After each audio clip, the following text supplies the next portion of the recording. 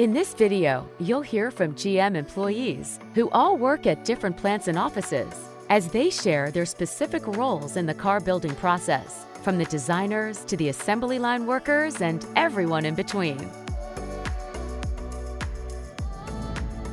It varies so much. You might be looking at a few years, and then in another case, when the technology is not quite ready, we may start a vehicle and then maybe need to to, to find a better solution and ideas live and die and come back to life and so it can be anywhere from a couple years to sometimes maybe close to a decade.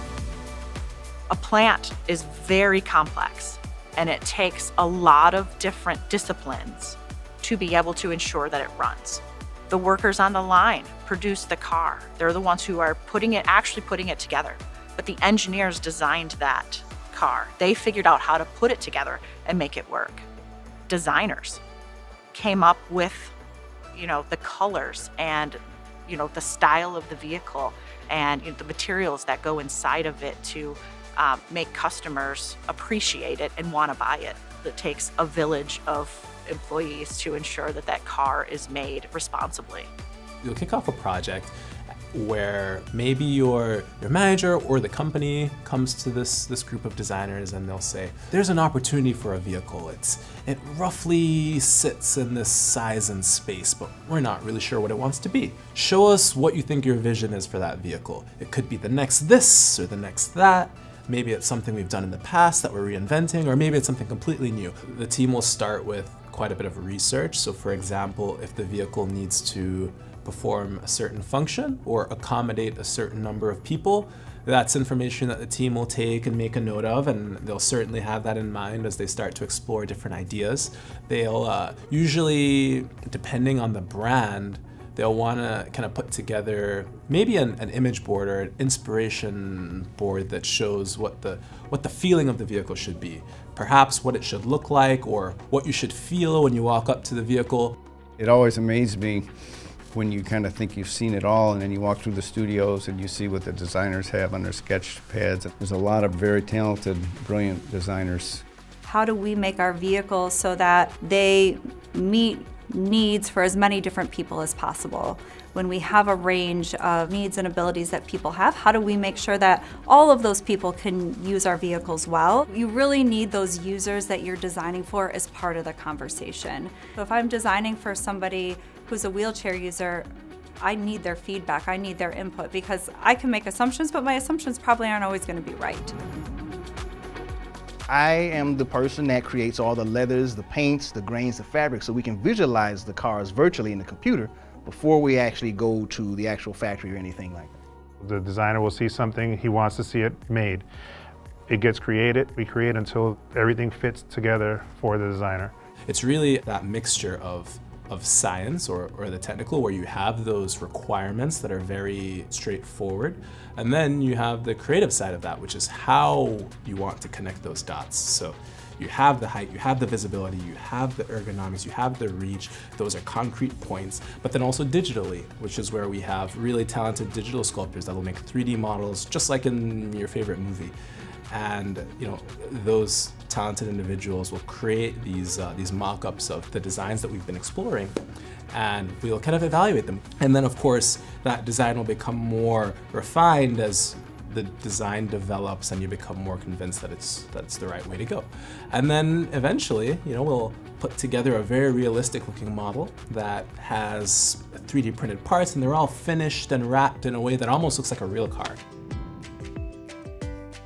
every now and then we'll have a group of people come into our shops and they'll say, oh, this is a nice truck. Oh, I want to see the inside. And they'll pull on the door handle, but it's a model. It's not a real door handle. So they'll yank the door handle off or some people will step on, you know, uh, what they think is a real running board or a step and it'll break off and, you know, they're feeling really bad. You know what I mean? I didn't know it was fake. It's like, well, that means we did our job well. Other times we're getting in vehicles, there's clay models of vehicles, and we'll actually get in and sit in the vehicle and interact with it and try, see if we can reach something. See if you can see the screen or if the steering wheel blocks it. Can you see the turn signal? So it's a lot of physical reviews when we're in the office, and we do a lot of clinics to know what people want. So we bring in dozens of people around a specific item, and we ask them questions or ask them to interact with screen reach, for instance. And we know where something needs to go for a customer to be satisfied with the reach. We know where people want USB ports. We know people want them on a top surface where they can see them, but then they also want them in a bin so they can put their phone away while they're driving. So we need to give people both options. It's not one solution that fits everyone. Sometimes that happens, but usually you need multiple solutions to fit the different types of users.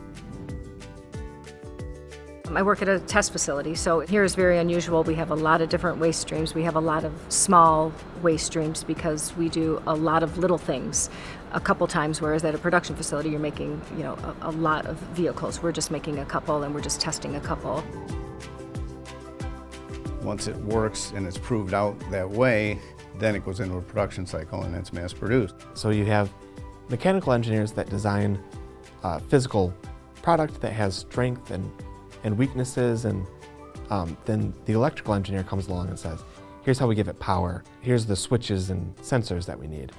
And then the industrial engineer comes along and says, how do we make one of those come off the end of the assembly line every 30 seconds or every minute or how do we manufacture a million of these over the next year?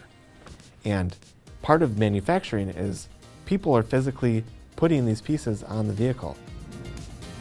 We build the six-speed transmissions. It starts from just a plain empty case, and once it makes it around the whole line, is a full-blown transmission from the valve bodies to like the housings that are in it to all the different hubs that are in it to the torque converter. It's, it's incredible to watch it. I still walk around my line and just watch it be made. It's just, it surprises me every single day. We make two things. We make engines and transmissions, and we do everything from machining the parts for the engine and also the assembly line where we put the engine together. And then same thing on the transmission side. You'll have like machining where they'll make the gears and the prismatics and cases and everything that goes into the transmission. And then you have the assembly line where you put it all together. After we test our transmissions, we will ship them out to a major assembly plant where the car is actually built. So uh, the bodies of the cars, the uh, engines, transmissions, uh, axles, tires, everything will be brought together at that plant and, and assembled.